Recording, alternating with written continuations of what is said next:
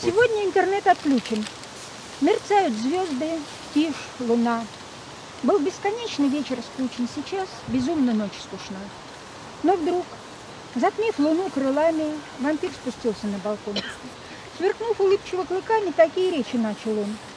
Я счастлив свидеться с тобой, заметив свет в твоем окне. Нас под луною только двое. Прошу тебя, доверься мне.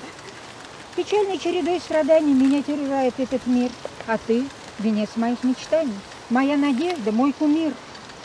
Прошу тебя, целую. Перед тобой меркнут все.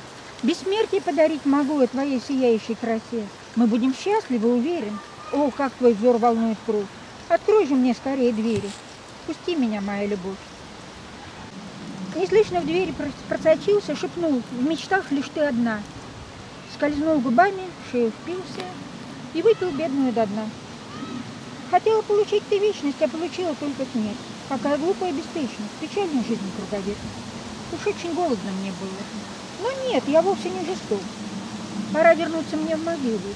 Жемчужно светится восток. И думал с легкой укоризной, взмывая к низким облакам, что бабы дуры все по жизни, покуда верят мужикам.